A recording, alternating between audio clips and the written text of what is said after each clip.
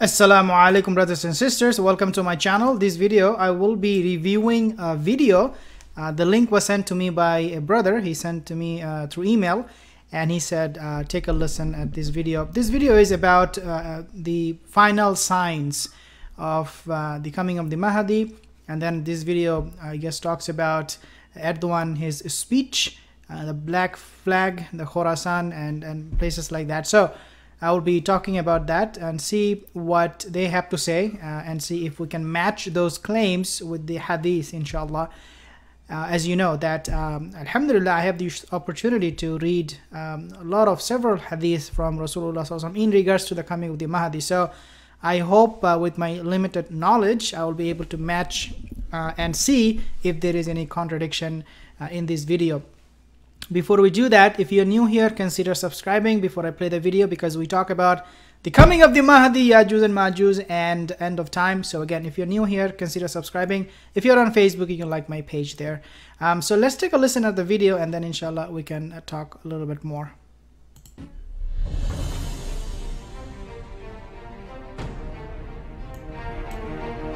النبي صلى الله عليه وآله وسلم يقتتل عند كنزكم ثلاثة The three will fight one another for your treasure. كلهم ابن خليفة ثم لا يصير إلى واحد منهم So basically, this uh, sheikh or the narrator is talking about the treasure. Now, this is true. This is the hadith is true that the uh, son of uh, three Khalifa they will be fighting over a treasure. Now, what the treasure is about? This treasure is in Mecca in some narration, it says it is right underneath Kaaba.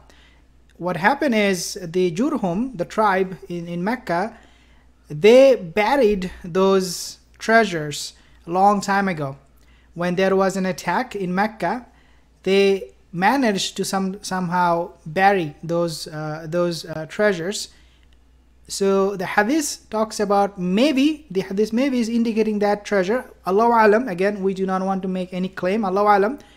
But there is a narration that this uh, Jurhum tribe they have buried that uh, that uh, jewelries, those treasures. So these three sons of Khalifa will come and they will, uh, you know, try to retrieve, try to get that uh, treasure simply because then you become wealthy the person who has the treasure will become wealthy, will become rich, and he will be the candidate to really hold power.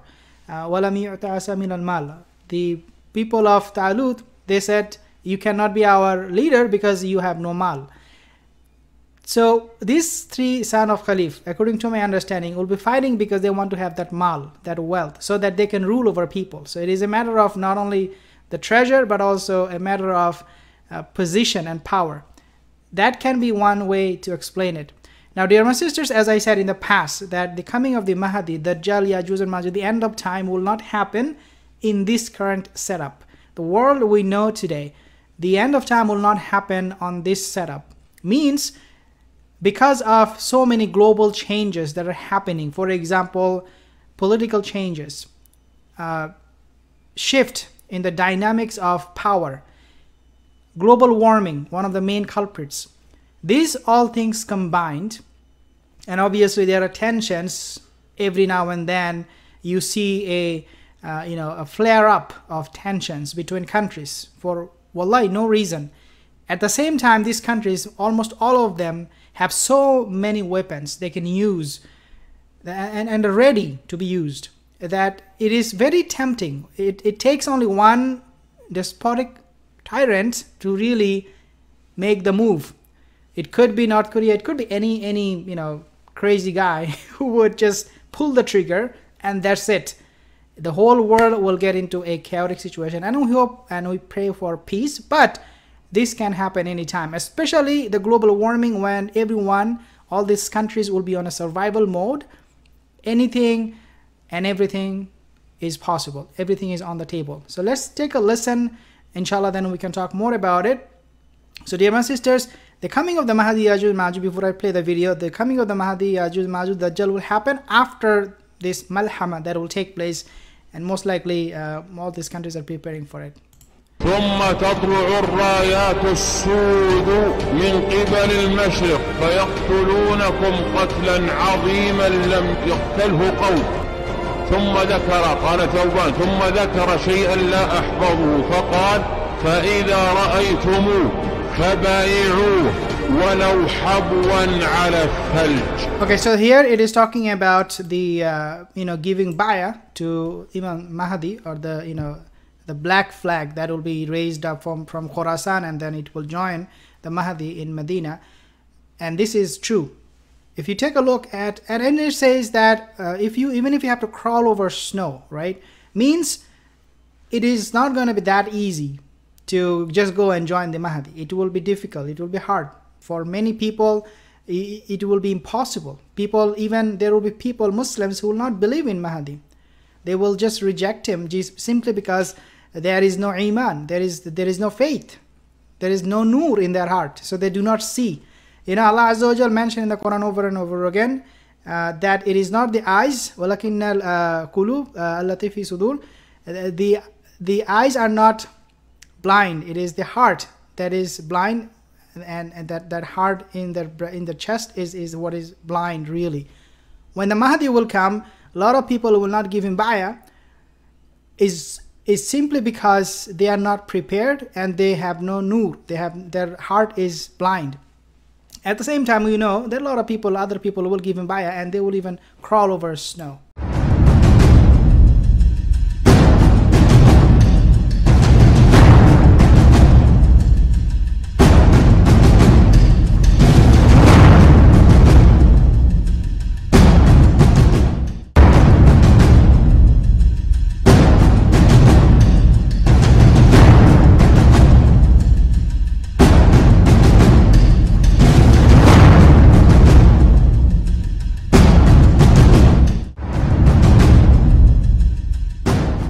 none of this weapon that is being shown in this video will exist. Uh, wallahi like this is my understanding there there has to have some major major change. But let's take a look.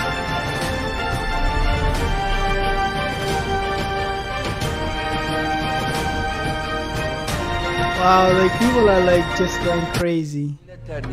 I think um, so if you want to know about you know what is happening and this is this is the uh, Erdogan. This is what he was talking about um, and this guy in this video. So Erdogan he would and he is actually playing a big role right now in in terms of changing the power dynamics in the world.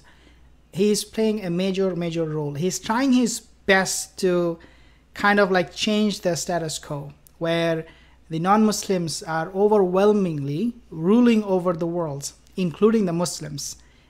Erdogan is trying that thing to change. He wants to rule the Muslims through Muslim Muslim rulers. He doesn't want Muslims to be ruled by non-Muslims. For example, France.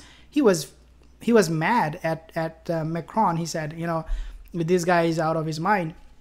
The reason is because Erdogan knows if the Muslims are not being ruled by Islamic and Muslim leaders, Muslim countries, then uh, wallahi like uh, it the situation will just get even worse and out of control. Dünya barışına katkısı var mı? Ne işe yarıyor bu Birleşmiş Milletler? Sadece onların gizli amacı neyse ona hizmet Dünya susarken, Batı susarken maalesef İslam dünyası da susuyor. İslam dünyası da seyrediyor. Soruyorum neredesin sen ey İslam dünyası? Senin canın yanmıyor mu ya? Senin yüreğin parçalanmıyor mu ya? Ondan sonra diyoruz ki Batı niye susuyor? Ya sen Batı'yı bırak ya. He is uh, again. He is questioning UN. He is questioning the Muslim uh, world's uh, the leaders' conference, because simply because again uh, he believes that UN and these other European countries, NATO, they are not befitting for the Muslims um, to be ruled by.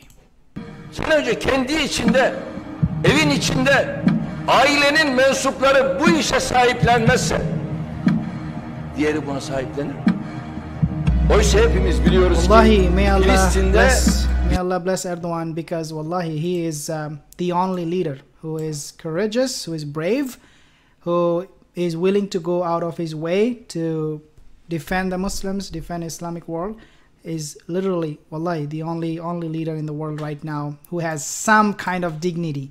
He feels something in his heart. Everybody else heart is dead. They feel nothing except Erdogan. He feels something. He's he knows there is something wrong that needs to be changed. He knows it. No other leader feel that way.